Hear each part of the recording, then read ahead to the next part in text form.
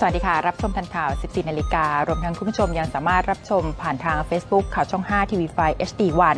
ด้านกระทรวงพาณิชย์นะคะ หนุนจังหวัดอำนาจเจริญ หลุดจากจังหวัดที่มีรายได้ต่ำเจรจาธุรกิจกับต่างชาติ คาดมีเงินสะพัดกว่าร้อยล้านบาทค่ะ นางสาวบรรจงจิต อังสุสิงห์รองปลัดกระทรวงพาณิชย์ ร่วมการเจรจาจับคู่ธุรกิจระหว่างผู้ประกอบการไทยและต่างประเทศ ภายใต้งานอำนาจเจริญอาเซียนเทรดดิ้ง 2018 โดยระบุว่าจังหวัดอำนาจเจริญเป็นหนึ่งใน 10 จังหวัดที่มีอัตรารายได้ต่ำ รัฐบาลจึงมุ่งหามาตรการช่วยเหลือยกระดับรายได้ให้ประชาชนในพื้นที่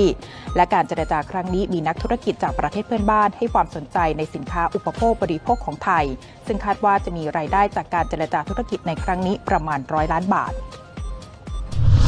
นายศิระจิระพงพันธ์รัฐมนตรีว่าการกระทรวงพลังงานเปิดเผยว่ารัฐบาลตระหนักถึงปัญหาด้านความปลอดภัยในการใช้รถใช้ถนน โดยเฉพาะในช่วงเทศกาลสงกรานต์จึงร่วมมือกับภาคเอกชนและสถานศึกษา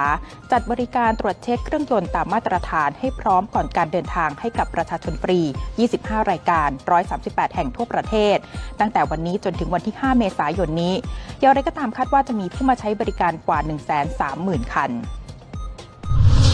เจ้าหน้าที่ปศุสัตว์อำเภอเมืองจังหวัดสุรินทร์ลงพื้นที่คอกวัวของนายถวันชดช่วงเกษตรกรบ้านพึ่งหมู่ที่ 6 ตำบลบุรือศรีอำเภอเมือง หลังวัวพ่อพันธุ์ชาโรเล่อายุ 2 ปี ติดเชื้อโรคพิษสุนัขบ้าและตายลง ทั้งนี้เพื่อฆ่าเชื้อที่อาจจะตกค้าง โดยเฉพาะสารคัดหลั่งของวัวที่อยู่ตามพื้นที่ต่างๆ ส่วนเจ้าของวัวและวัวในคอกอีก 15 ตัว ยังต้องฉีดวัคซีนป้องกันโรคพิษสุนัขบ้าให้ครบ 4 เข็มเช่นกัน เพื่อเป็นการป้องกันในเบื้องต้น กระทรวงต่างประเทศรัสเซียย้ำอีกครั้งว่าสารพิษทำลายระบบประสาทที่ใช้โจมตีในอังกฤษอาจถูกผลิตขึ้นในสาธารณรัฐเช็กทั้งนี้สาธารณรัฐเช็กได้เข้าร่วมกับสหรัฐและรัฐบาลหลายชาติในยุโรป ในการขับไล่นักการทูตรัสเซียกว่าร้อยคนเมื่อวันจันทร์ที่ผ่านมา เพื่อตอบโต้ที่รัสเซียใช้สารพิษดังกล่าวทำร้ายอดีตสายลับสองหน้า ชาวรัสเซียและบุตรสาว ในอังกฤษเมื่อวันที่ 4 เดือนนี้ แต่รัสเซียปฏิเสธว่าไม่ได้อยู่เบื้องหลังการทำร้ายคนทั้งสองที่ขณะนี้ยังคงมีอาการอยู่ในขั้นวิกฤตในโรงพยาบาลของอังกฤษ ประธานาธิบดีโดนัลด์ทรัมป์ของสหรัฐกล่าวที่มรรัฐไอโฮวา